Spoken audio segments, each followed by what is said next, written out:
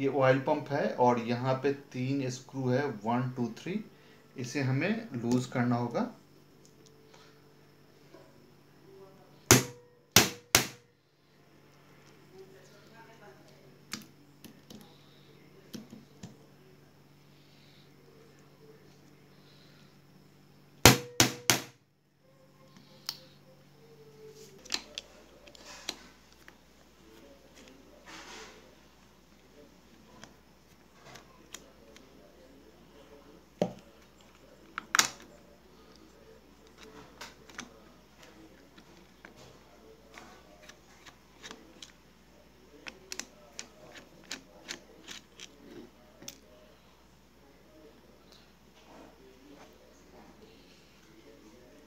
ये इसका oil pump बाहर आ गया और यहाँ पे ओरिंग रहता है और यहाँ पे डॉवेल है तो आपको इस सब का ध्यान रखना है। यहाँ पे ये जो किक साफ्ट है, ये भी बाहर आ जाएगा, इसे आपको सेफ्टी रख लेना है और इसमें रैचेट रहता है तो ये भी आपका बाहर आ गया। और यहाँ पे एक वाशर होता है जिसको आपको बहुत ही प्यार से बाहर निकाल लेना है। ये देखिए, ये वाशर आपको सेफली रखना है। अब इस साइड कुछ भी नहीं बचा है। इसे हम लोग टर्न कर लेते हैं दूसरे साइड ये देखिए, यहाँ भी कुछ नहीं है। अब हमें इसे स्प्लिट करना है। तो इस इंजन का जो क्रैंक साफ्ट है, ये अब कम्प्लीटली फ्री हो गया है। इसका कनेक्शन अब कहीं से भी नहीं है। तो अगर आपको चेक करना है कि आपका क्रैंक हेल्दी है या उसके बियरिंग्स में कोई प्रॉब्लम है तो एक मेथड आप ये भी अप्लाई कर सकते हैं।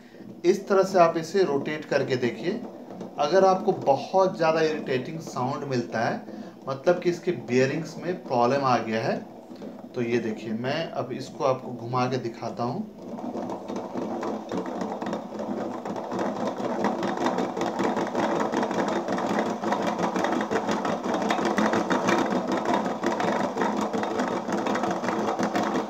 आपको कुछ साउंड मिल रहा होगा। ये जो साउंड है, ये बियरिंग का साउंड है, ये ये डिनोट करता है कि इसके बियरिंग्स में प्रॉब्लम आ चुका है।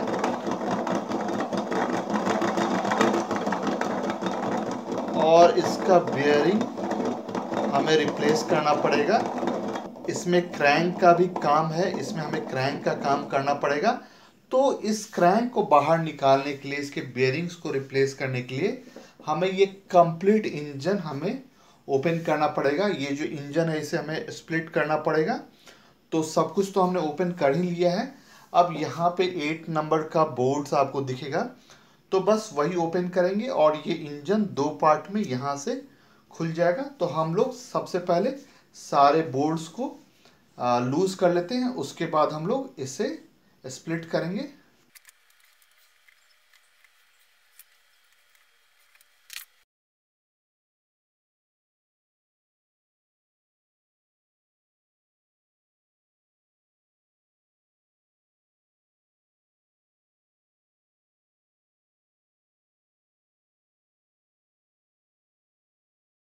तो यहाँ पे सारा बोल्ट हमने निकाल लिया है।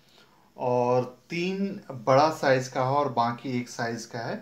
तो इस तरह से आप रखेंगे अरेंज करके तो लगाने में कोई प्रॉब्लम नहीं होगा। आपको एक आइडिया मिल जाता है कि कहाँ पे किस साइज़ का था। तो अब ये स्प्लिट होने के लिए तैयार है। तो स्प्लिट करने के लिए आपको वुडन हैमर या प्लास्टिक हैमर ही का यूज़ करना है। कभी भी मेटल हैमर का आपको यूज़ नहीं करना है। ये देखिए। आपको बहुत ही प्यार से इसे हीट करना है। ये देखिए स्प्लिट हो गया है।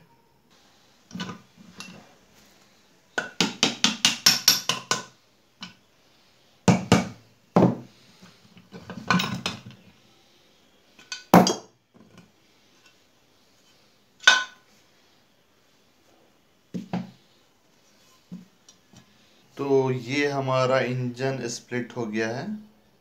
ये देखिए गियर्स कुछ इधर है, कुछ उधर है। ये देखिए।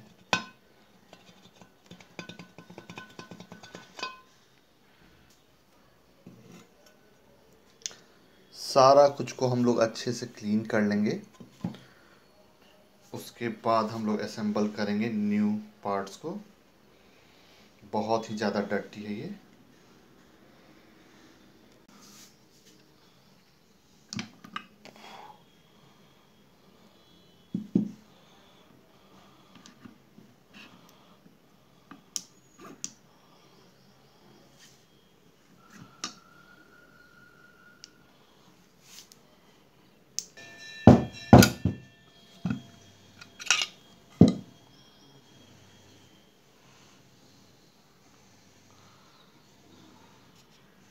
यहाँ पे है हमारा प्यारा स्क्रू जो कि नीचे गिरा था। अब इसके सारे बियरिंग्स हम लोग बाहर निकालेंगे, जितना भी ओरिंग है, जितना भी ऑयल सील है, सब कुछ हम लोग बाहर निकाल लेंगे।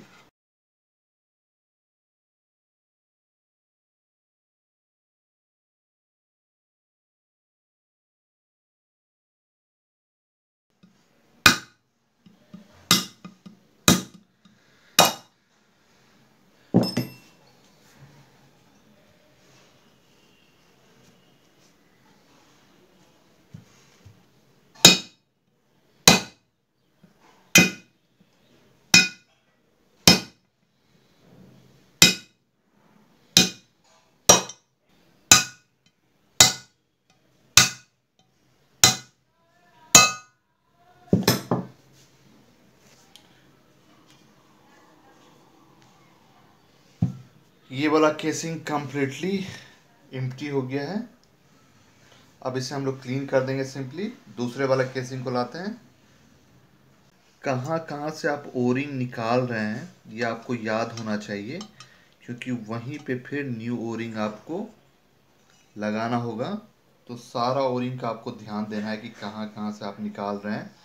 ओरिंग फिर डॉवल पिन कहाँ कहाँ था, सब कुछ आपको याद रखना है। अब आते हैं हम लोग दूसरे केसिंग में। यहाँ भी जितना ऑयल सील है, सब कुछ हम लोग रिमूव कर लेंगे। बहुत ही प्यार से। ये देखिए, बाहर आ गया।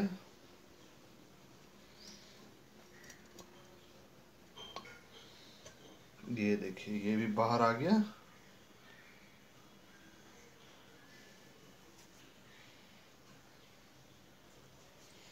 और ये सब जब आप काम करें तो आप ग्लव्स का यूज़ करें। आ, मुझे तो कैमरा ऑपरेट करना पड़ता है तो थोड़ा सा प्रॉब्लम हो जाता है ग्लव्स से। और फिर भी मैं अपने हाथ को क्लीन रखता हूँ क्योंकि बहुत देर तक अगर ऑयल के कांटेक्ट में आपका स्किन आएगा तो इचिंग होने लगता है। तो इस बात का आपको ध्यान देना है। आप ग्लव्स का यूज़ कीजिए।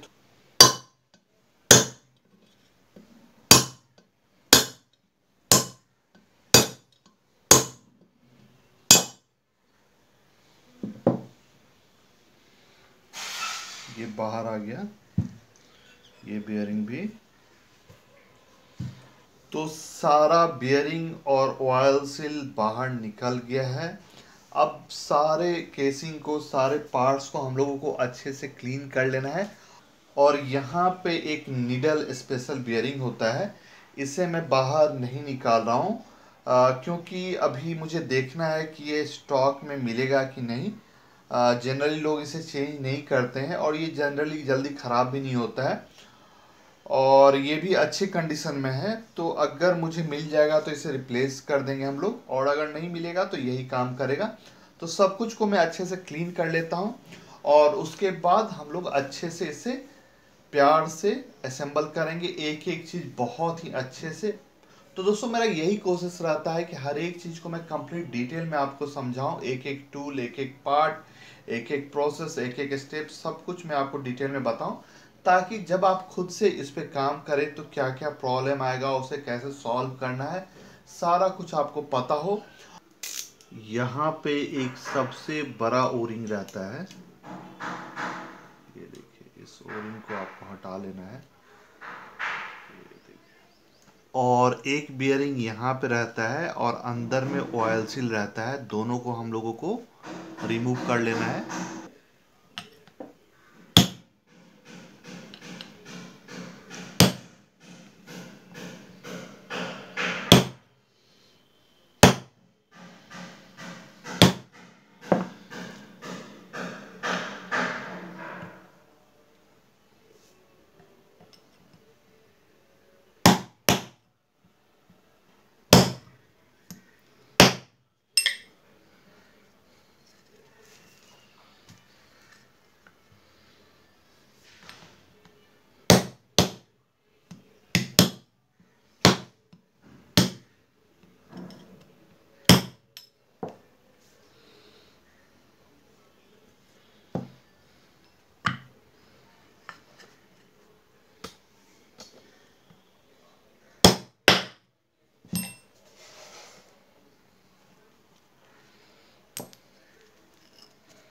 यहाँ पे अंदर आ, में एक वायल सील है उसे भी हमें निकालना होगा।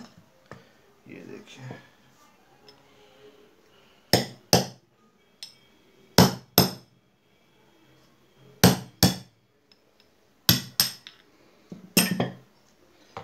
ये भी बाहर निकल गया।